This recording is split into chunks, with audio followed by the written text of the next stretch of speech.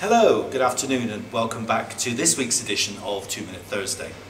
I'm filming today uh, in our art corridor in the primary school because you will have seen we've got this fabulous mural that emulates our, our motto which is everyone counts, everyone contributes, everyone succeeds.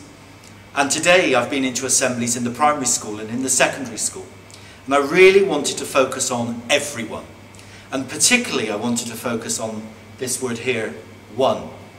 Because in today's society, and certainly to some extent within Dubai, we are obsessed with number one, being the best, the brightest, the glitziest, the tallest, the fastest. And sometimes being number one in that respect, being the best in that respect, isn't really what counts.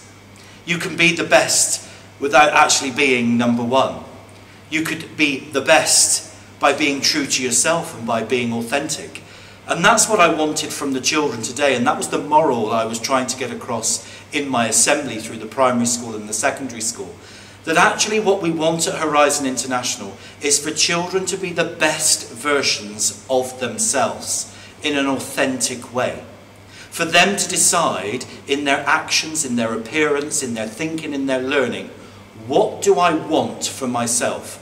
And my role as the principal is to provide and to make sure that students have those opportunities to be the best, their own number one version of themselves.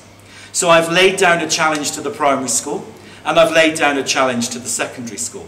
And the key question for me as part of my Thinking Thursday in Assembly was, how will I see that you are committed to being the best version, the number one version for you?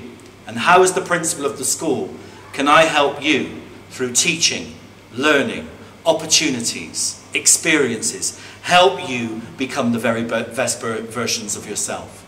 Talk to your children about what we discussed in Assembly today, and I look forward to having that dialogue with the students over the coming month and seeing how being the best version of oneself comes to life. Thanks very much for joining me.